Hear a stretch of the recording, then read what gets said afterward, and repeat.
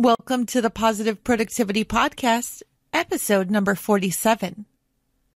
Welcome to Positive Productivity Podcast, where we empower our audience to achieve and appreciate personal and professional success, especially in the face of adversity. Listen in as our guests reveal their stories of challenges and hurdles and how they overcame defeat and became triumphant in their endeavors. Let's get motivated and move forward with your host, Kim Sutton.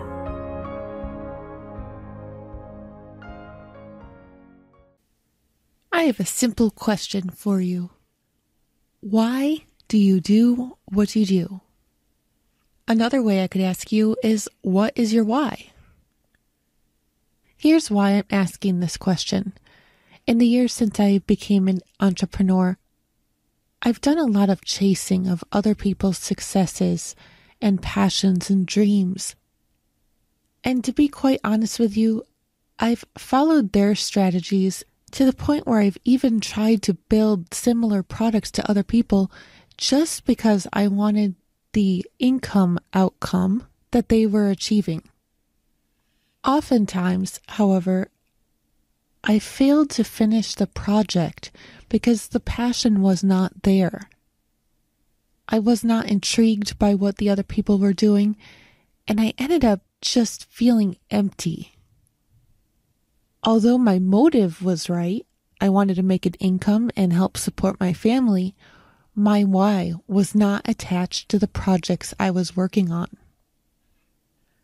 Lately, I've been asking in a lot of Facebook and LinkedIn groups, what is your why? I've really wanted to get a feel for what people in my community are doing and how I can support them, and I've been surprised by the responses I've been receiving often the responses have been, I want to support my family, or I want to raise my children in a loving environment, or I want my mother or father to be proud of me. While these are all great causes and great motives, there are so many different things that we can do in our life to achieve these results. I know, for example, that I could earn an income in very many different ways. Not just working in my business and supporting my clients in the way that I love to do. For example, I could have gone to school to be a doctor. However, I cannot stand blood. And while I would have made a great income, hopefully, I would have been in a job that I really didn't enjoy and probably wasn't making the impact that I should have been because my heart would not have been in my work. Often we're asked, What do you do? And that's when we answer our job description. But how often do people ask, What is your motive? Yes, I do believe this is different from my why. It's important to me that my family be secure, that we have a roof over our head, food on the table, and clothes on our body. But there are so many ways that that can be achieved. And I don't know about you, but I would prefer to be doing a job I love to achieve the results I desire.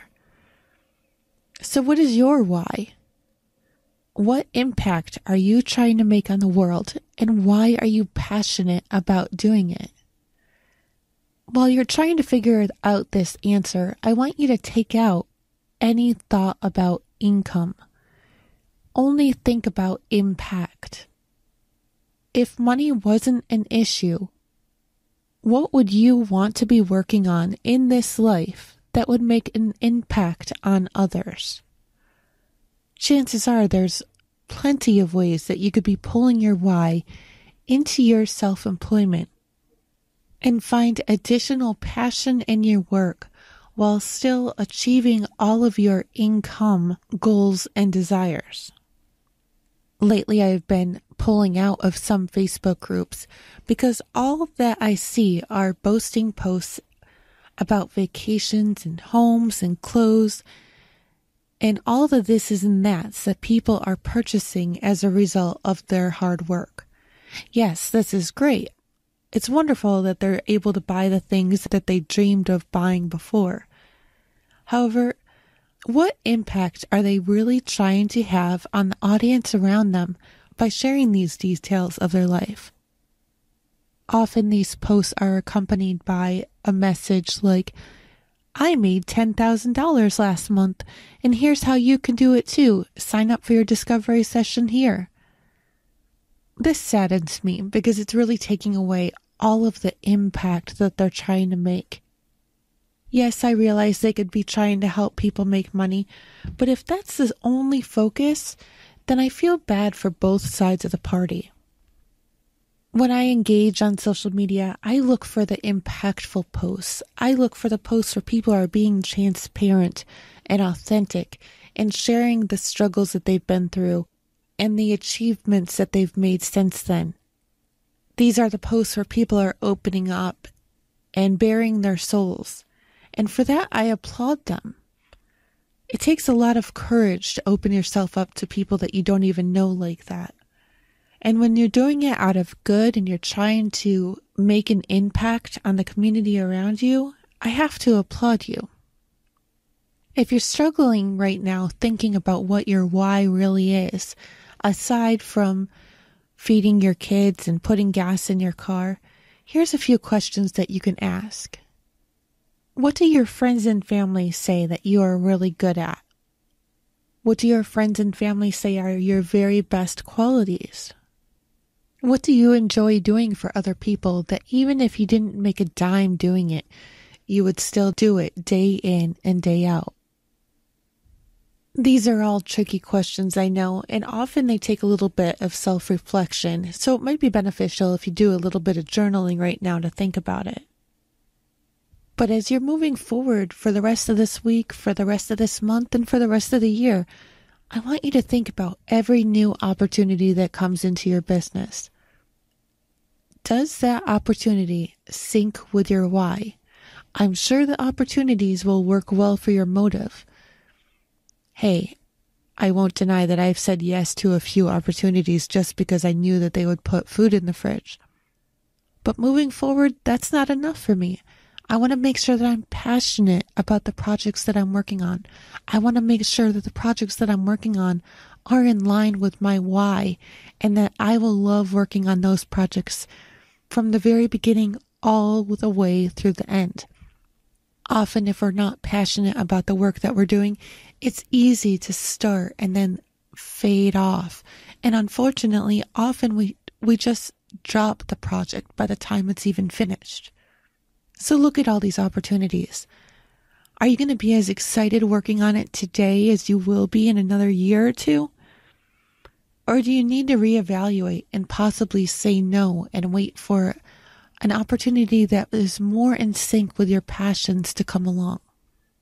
Stop worrying about your income and worry about the impact that you are making. This is where you're going to find the difference between your why and your motives. If you'd like any help figuring out what your why is, I invite you to visit the coaching page at thekimsutton.com forward slash coaching to find out more about how I help clients determine their why and build the framework to support it in their personal and professional lives. With your why in mind, go forth and have a positive and productive day. Hey there, this is Kim Sutton, host of the Positive Productivity Podcast, and I just want to take a quick moment to thank you for listening to this episode. If you enjoyed it and were inspired, I would love to hear your feedback.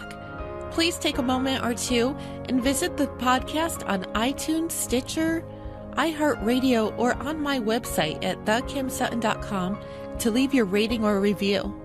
I'd also like to invite you to join the Positive Productivity Book Club and to find out more about my coaching packages by visiting thekimsutton.com. Until the next episode, I hope you have a positive and productive day.